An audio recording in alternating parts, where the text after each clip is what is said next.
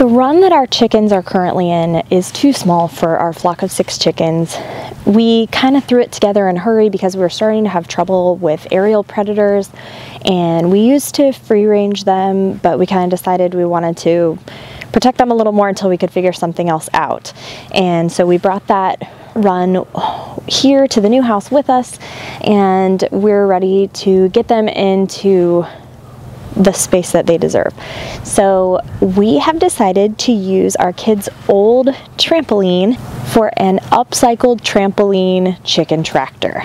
And there are several varieties of methods of doing this. I think we're going to set it up as a trampoline and then put some chicken wire around the outside and a little door on one side. The top of the trampoline should provide some decent shade for them in the summer and the run will also attach to their mobile coop that they're currently in so they'll have somewhere to get out of the rain and we can move them around uh, around the property in this trampoline run.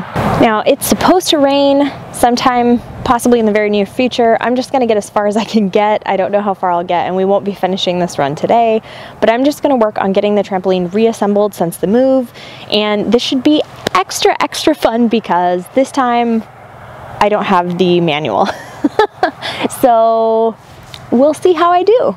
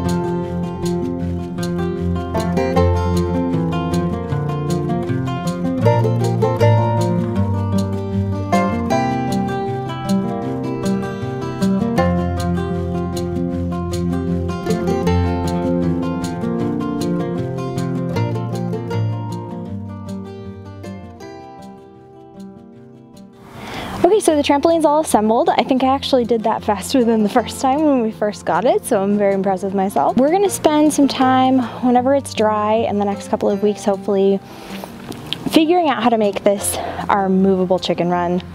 What we would like to do ultimately is keep them in a movable run so they're on fresh grass each day and then if we have the opportunity to give them some supervised free ranging where we can be out here with them when we're working on projects, we would love to let them out uh, for that so they can free range a little bit and we can just make sure that we don't have too many issues with predators that way. Let's put the fence around the sides. Um, I actually used a come along uh, I, ha I happen to have a fence puller for chain link but you could probably make one with just some hooks and an old board for nothing but uh, I use that to pull the fence tight around the edges. And I'm just using some heavy duty zip ties to, uh, to hold it in place. So we'll see how that goes. Give the chickens a little bit more room. So it's pretty light. Um, drag it around the yard yourself pretty much. Um, yeah, be, we'll see how it works.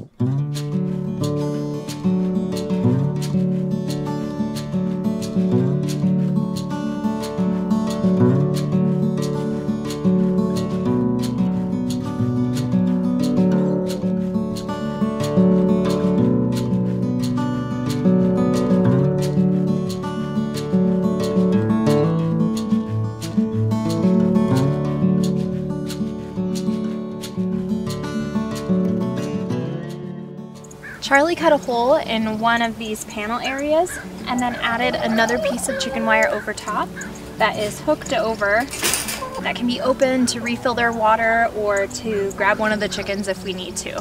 It's big enough that one of us could crawl in if we had to, but we would generally avoid that. If we need to get a chicken, usually we'll come in at night when they're in the coop and they're more relaxed. Our chickens have been in the repurposed trampoline run for a couple of days now and it seems to be going really well. It's not extremely predator proof, but we don't deal with a whole lot of predators here and the ones we do deal with are aerial predators. So we're hopeful that this uh, trampoline surface will help to cut down on that. This gives us the opportunity to move them more often and get them to more fresh grass.